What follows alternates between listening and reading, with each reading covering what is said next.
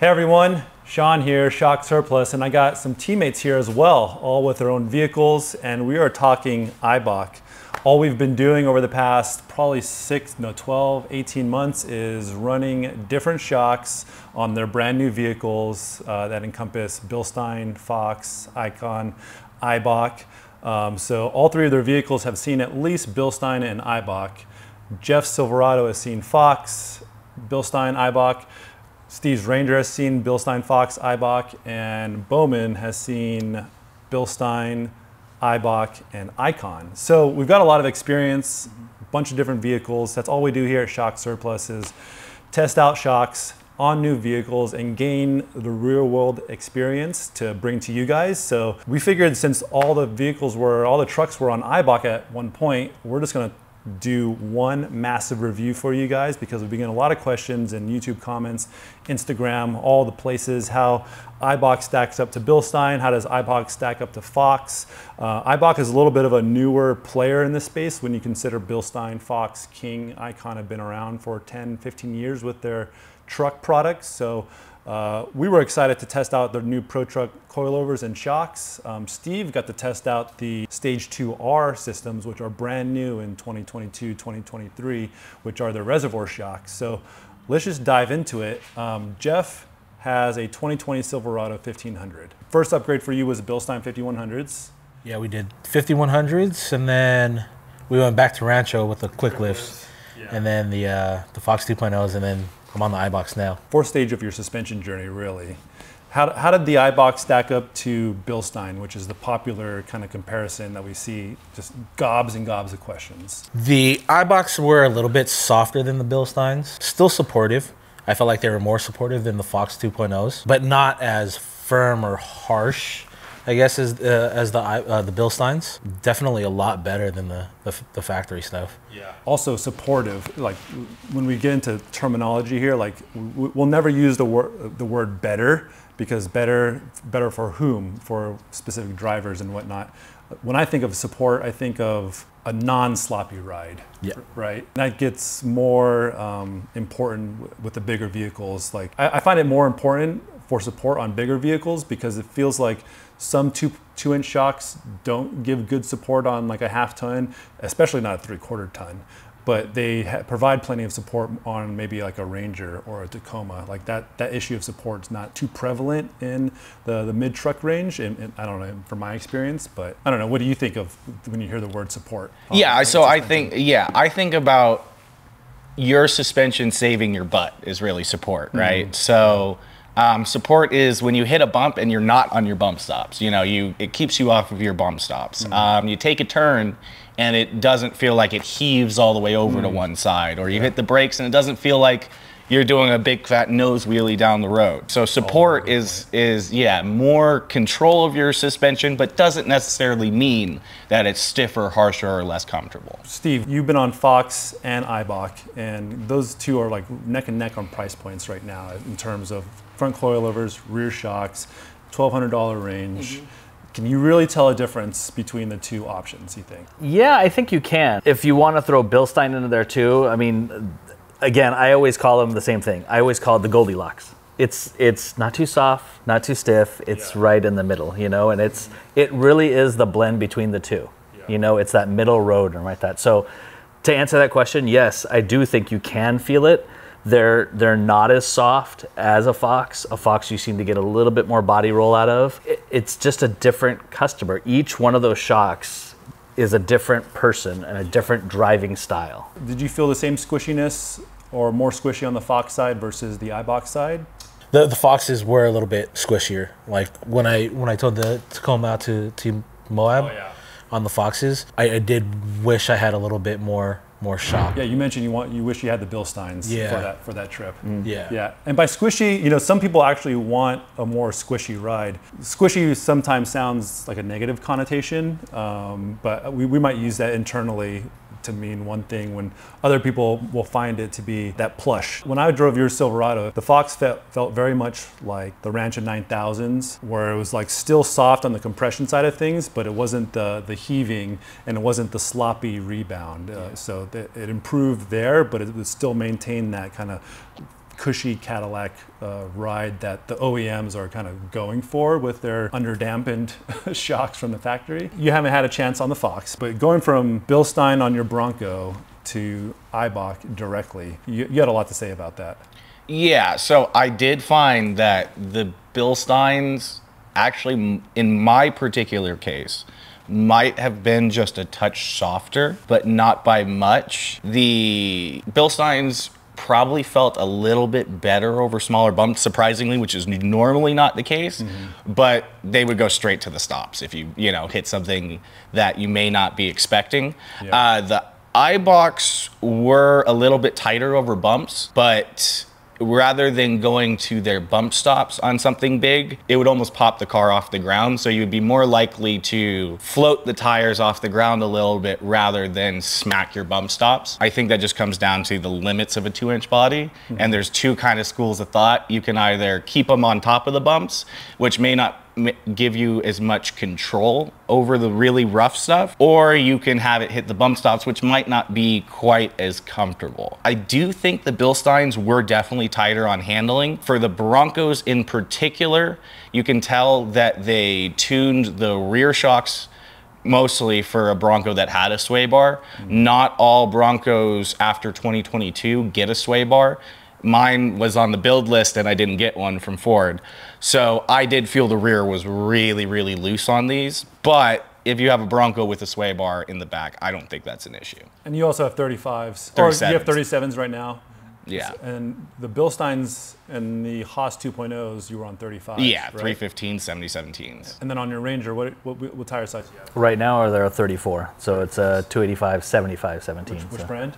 Uh, it's a BFG, the all terrains. So. KO2. KO2s. KO2s, yeah. What do you got? exactly, so. Maxxis Razor MTs. And then before that, I had the factory Goodyear, Wrangler, Bronco Spec DuraTracs. Okay. And then what do you got on your Silverado? Mine's about a 34, 305 70 17s. Okay. All terrain Coopers. Coopers? Okay. Yeah, everyone wants to know wheel and tire size on the rigs, and especially when you're testing like when you're testing a 90 pound package wheel and tire package versus a 120 pound package. It makes a Makes a big difference. It It makes a big difference. Yeah, one of the things Bowman was talking about on his Bronco is uh, how much there was going from Eibachs to the Icon 2.5s, uh, how much tire dribble you were kind of experiencing with the Bilstein 5100s and these Eibachs, right? yeah, yeah. Is that, is that also because you have like inch and a quarter spacers kicking those wheels and tires way out? Is that contributing to it at all? Uh, probably not, because the I mean, and if it is, it wouldn't be it wouldn't change if I had a um, aftermarket wheel. Okay. The majority of aftermarket wheels for the Broncos are have around a zero offset. Okay. And my effective offset is negative 1.3 millimeters or something like that. So it's it's the same. It's 125 pound tire, and Eibachs straight up tells you these are for 35s. Yeah. And I think on 35s they would be great. On 37s, one they don't the they're too short fully compressed, so you'll hit the fenders at full bump. Yeah. Um, there's plenty of lift otherwise. on our TikToks and Instagrams, everyone's always like, the rear wheels are going nuts. Yeah, yeah, yeah. and that's because so and that and in those videos you see the back tires are basically skipping across the ground, and while they're skipping, it's basically ping ponging from either side of the ruts. so it's just sitting there ping ponging the tire. And so even at like 25 psi on a deload tire, which is probably more than I need, it's still going all crazy because the tire is physically going from on the ground, slapping the side of a wall, back on the ground, slapping the side of another wall, Okay. which I didn't feel that on the icons. Maybe there's some tire wiggle, Gotcha. but the tires aren't Okay. doing a Jimmy Jangle all the time. Steve and, and Jeff both tow often. I wouldn't say heavy, but you guys tow often, right? Uh, you're, I've seen you tow some tra- like a tractor, and Yeah. you used to tow the trailer, And my Bronco. Yeah, rescuing the Bronco off the lake bed. yeah, yeah. I know we've talked about this before, but we got to get it here in this comparison. Shock preference for towing out of the three you've tested so far. No question, it's the Bilsteins. If you're towing, you belong in a Bilstein, like a 5100, or you know, if it's a, depending on the truck, it could be a 6112 in the front. That really is where it's at as far as towing. Do you think the Fox and the Eibach subtract towing ability from stock, or is it still a little bit of an upgrade as terms of? I I think it's an upgrade, per, in in my opinion, I, I've towed on all three. Some people will say, "Oh, you're towing with the Ranger, right?" That, but I've towed heavy with the Ranger. I'm no- towing at max capacity. I'm throwing a flatbed and a truck, you know, his truck or a different truck on, on the back, right? That. Um, so it's not light, you know, it's not a 2,000 pound, you know, little utility trailer or something. And the Ranger does fine with it, right? That, but you do get some more body roll out of the Foxes, right? That the Foxes most of the time are not happy when you put a lot of weight on them. Now that doesn't mean that they can't be valved accordingly, right? That because that is a possibility, you know, with them. That's a good thing about the Fox and all this comparison.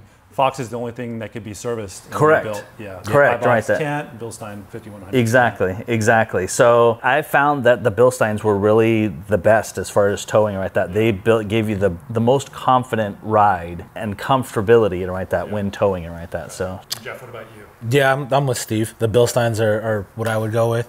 Um, with that being said, though, anything is better than the stock. Yeah. Yeah. On the Yeah. on the Chevy truck, I hear that that same complaint with the the factory stuff on three quarter and and uh, one ton Chevys too. Gotcha. Is the f- stock shocks are just way too soft. I've hauled dirt bikes side by sides, and the Foxes can do it. Yeah. it's just what level of comfort and control you want.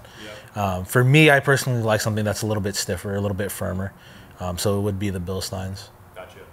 Yeah, I'm, I'm of the sportier of the sportier driving type as well, Yeah. rather than the, the comfort side of things. And, things. and I think that's important to point out is that your driving style versus his driving style versus my the everybody's different. So what you may feel comfortable for you, somebody else on the exact same setup may feel differently. yeah, my my better and my best is not is not your Exactly, better, exactly. your I think that's really yeah. important to say, you know? It's- Yeah. The other thing I wanted to ask about, as far as like, you know, most people are leveling their vehicle, right? Between Fox and Eibach, we'll just stick with those two comparisons. I've noticed Eibach is providing more lift lift range. We'll just call it lift range than Fox typically is. Almost than anybody. yeah, oh, I know that's the case for the Ranger. Was that the case for that was the case for the Silverado as well, right? Because Fox was only doing two inches and Eibach was doing two and a half. two two and a quarter. It's supposed to be two and a quarter. Um, on on my truck specifically though, with the the 3.0 out the box, I only got about an inch. Okay. But if you had a 5.3 truck, they'll go up to 3.6. So the oh, loss of height on a 3.0 diesel isn't because of length, it's because of spring rate. Gotcha. But they're reliably some of the longest coilovers per application. gotcha. Like mine sitting right there do 3.6 or do 3.6 at the highest on a Sasquatch model. On a 2.3, right? On a 2.3? 2.3, Yep. yeah, and out of the box they gave me three inches of lift in the front and almost two in the back. No, not touching anything. Gotcha. Okay. And so I don't know how anybody does that with a stock upper control arm. They say you can. Yeah. But you, the Eibachs are probably the one coilovers where if you were considering an upper control arm, you probably should do it. Should Yeah. it should anyways, just Yeah. to maximize Yeah. performance, right? Yeah, I think the rule as far as how much lift you're doing versus the control arm, that doesn't change no matter Yeah. what Yeah. truck you're using. Gotcha. But in this case, across the board, they almost always do higher than anybody else. A- And these can be adjusted on the on the vehicle as well because they're steel body, mm-hmm. not with Foxes because it's aluminum body, right? Yeah, you got to put them on a spring compressor. So, and we get people into these all the time just because they want to make sure their truck is level. And so, even if it's not level out of the box, it's, you know, 20 minutes to make sure. I, I think it's important to note though that just because you can adjust them on the truck, that means you still need to take the weight off of the truck. You still need to raise the truck up, get the weight off of it right that. Because if you've got that factory wrench that comes with this and you try to do it with the truck sitting on the ground, you're gonna snap it. Yeah, so Let's let's snap one tomorrow, Jeff. You need to. Uh, yeah, I do. I do need to adjust mine. We're gonna do that. We're gonna do that tomorrow. And, and I will say, the included spanner wrench is decent enough. Okay. But if you see yourself making, reg- you know, more than one adjustment in the future, Eibachs sells an upgraded spanner wrench. Oh, they do. Yeah, I would get it. or Okay. It's, or it's not this. It's you know twice as thick. Depending on application, um, like 14 to 18 GM half tons use a lot of spring rate on those. Okay. Um, I think they're like a 650 or 700 pound spring, and those will reliably snap. Oh, okay. Will Or- reliably snap. pro stock. tip, go to Harbor Freight, get the punch set for eight ninety nine or whatever it is, and just use a, the center size punch. I think it's a five sixteenths. I want to say, but uh, Five. Ooh, no, Is it? Is five sixteenths is the two, Fox two fives. yeah. So A- anyways, you get the set. You'll have same, all of them in the punch set. It's pretty inexpensive and it's a lot easier to use, honestly. So I have a set of Kings at home that I use that on because Gotcha. Versus a wrench, right? That's uh, They do at least come with a spanner wrench. Yes, they do. You look at 2.5s and, and they don't even come with a spanner wrench. King, yeah. King comes with a like a small little yeah, spanner, um, Yeah. but it's like this long and you can't get any You- leverage. no on them. leverage. Yeah. Gotcha. so Um, Fox 2, 2.0s and 2.5s don't come with a wrench. That's true. No, but yeah, you use the Harbor Does Freight I, punch. I, no. My icons came with a wrench. But maybe Mm. that's just because I got the good guy deal. yeah, they don't they- normally do. Yeah. Yeah. And the other thing to be said about Eibach and the Fox 2.0s is uh, Bowman mentioned spring rate is they use a universal spring. Yeah. On most applications. Not on, not Yeah, on, on the the Bronco. Bronco. Not on the Yeah. back of the Bronco shocks, but They use a, the a linear spring and you could change out spring rates if, if you throw anything on the front of the Yeah. truck. Gotcha. Ha- have we had any customers? Have we had many customers do that? Yeah. Yeah. We had Yeah. Although these usually can provide so much lift on a stock weight vehicle that a lot of times they don't end up having to change spring rate hmm. because if you only want two inches of lift but you can adjust it to four, then there's probably plenty of preload adjustment to give you the height before you get coil bind. Gotcha. Yeah, most people running.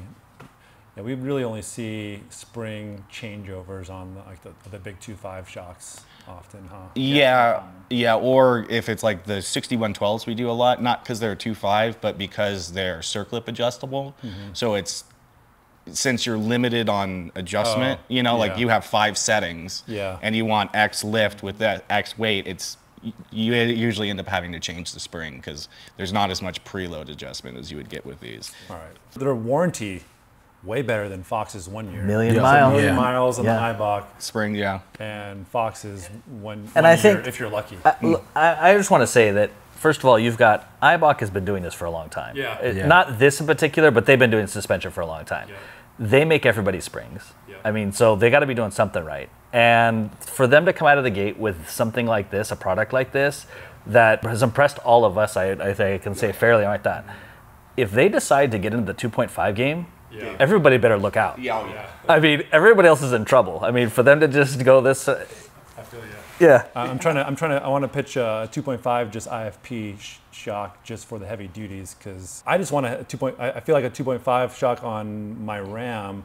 I don't need the reservoirs, but you do need a 2.5 on these heavier heavier trucks. Well, and e- really anything with independent front suspension, there's that motion ratio there. So, like if you have a Toyota, for every two inches of wheel travel, that's one inch of shock travel. Hmm. So the shock is losing all of that dampening force by that same factor. Hmm. So you might end up wanting a two and a half inch body shock because they can probably be tuned more comfortably and be more supportive mm-hmm. than a 2.0. Now, with that said, these are the best 2.0s anybody has ever made, probably ever. Eibach, unlike everybody else, isn't locked in. Big claim.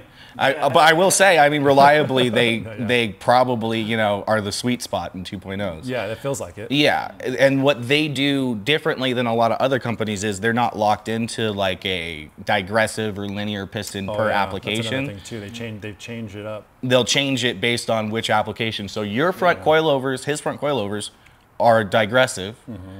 Mine are all linear. Mm-hmm. The non-res shocks are digressive for the rear of the Ranger, but the reservoir shocks, the PTRs, are linear. Oh yeah, let's. We got to get into that. So we did the change of the non-reservoir shocks to the reservoir shocks, which is the uh, the PTR Pro Truck Pro 2, Truck, yeah. Pro Truck 2R. 2Rs. But we did that change on trail and noticed an immediate difference where rear end just felt planted, less harsh immediately through just that the rocky trail chatter. We were we were driving pretty fast, but not not, Not terribly- crazy. not not crazy And, fast. and honestly, I, I always tell everybody, I didn't expect to see any change at all. I really didn't, you know? And we were kind of expecting just uh, protection against fade, Yeah, right? yeah, Not for a ride yeah, quality, not exactly. actual ride quality change. Yeah, Yeah. but there was. yeah, absolutely. Now, on the street, you don't really notice a difference. Yeah. Maybe if you're flying over a set of railroad tracks, but other than that, you don't notice a difference, honestly. But in the dirt, you do, for So sure. Basically, subdue subdues the chatter, Yeah. right? Yeah. That's like the best way Yeah. to kind of put it. Subdues Well, all that it- rocky stuff. It's just pushing that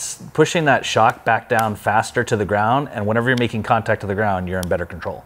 You know, so Jeff, what do you think is what do you want to be next after the Eibachs setup? I think the next step up is going to be the Bilstein 6112s. That, that that kind of following the progression of where we where we've been going. I think Yeah. I think 6112s would be a good move. Possibly compare that against the the Icon EXPs. Are the EXPs out for your truck?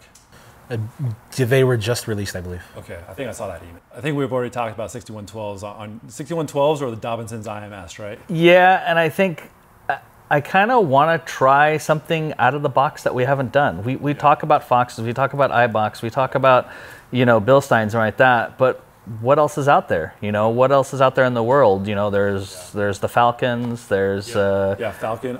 there's I'm super curious about the Dobinsons. Dobinsons, Dobinson running their running yeah. their 60 millimeter, uh, basically their 60 millimeter high flow linear piston against Bilstein's 60 millimeter uh, digressive. Yeah. Like, that's right. Right there is going to tell a pretty good story. yeah, for sure. Oh yeah. And out of the box, they're a threaded body and not circlip adjustable. Okay.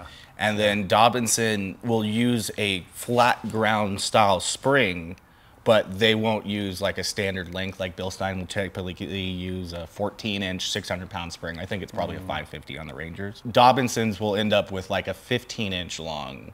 550 pound spring that might give you that two inch lift at you know the same amount of preload as the stock spring would and will give you more range for more lift later. So that would be good to compare versus a shorter spring and mm-hmm. more preload a longer spring and less preload on the shock probably similar preload real world preload mm. you know.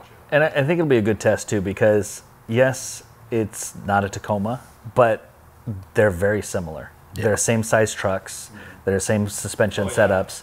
It, it kind of applies over to universal to, to everything, you know. So I think that'll be a good comparison. The, the Falcon, yeah, bringing the Falcon into mind is that yeah, that's a that's another like kind of sweet spot since they're 2.25 shock and and then for you we're already on to the next set. These are your these are These are my old these guys, Are the yeah. Bronco Eibachs. And Yeah, we, we've moved on to Icon and I'm 2.5s. yeah and i'm liking my icons i will i, I am excited to try the 6112s and 6100s next Yeah. because those are very much in the similar price point to these Mm-hmm. but they don't cycle nearly as much travel they're not as long Okay. Um, so I'm interested to see the benefits of a larger diameter body and maybe better tuning because of it versus, you know, actual wheel travel. How oh, much Oh, yeah. quality matters over quantity, so to Gotcha. speak. Because they Bilsteins are definitely shorter. Yeah. But I do think a 2.5 or 2.6 inch diameter body will work a lot better. Yeah, it has to do like that much more damping surface volume. Just has to do less work than a, a, a two-inch shock. More support, basically. Yeah. Well, guys, let us know what the what your guys' questions are uh, in the comments. Email us. We're, we're constantly taking suggestions on what you guys want to see next. We've ran all these vehicles in the dirt already on the street, towing all sorts of things, and we're just going to continue that progression through a bunch of different shocks. So we are taking your input, though, literally, on where to go, what to see, what to run, and uh, we'd love to hear the feedback. And thanks so much for watching, and uh, we'll catch you guys on the trail.